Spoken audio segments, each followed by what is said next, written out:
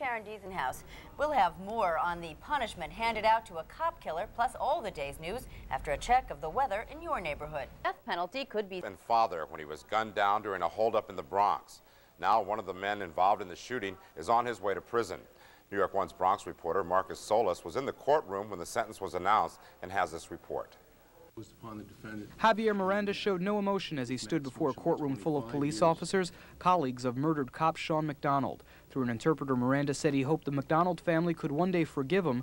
Then Judge Martin Marcus told Miranda murder is a horrible crime regardless of the victim, but that the killing of a police officer was even worse. Sean McDonald died not because he was accidentally in the wrong place at the wrong time, not because ill fortune or fate put him at the mercy of a predator, but because he accepted the responsibility placed on every police officer to protect us by stepping voluntarily into harm's way. Marcus then sentenced Miranda to the maximum 25 years to life. The day that he was assassinated, I was at my father's funeral. I heard it on the news, and I came in, and it really hurt because I worked with the guy, you know, and it really broke my heart. I buried my father and my best friend. It hurts.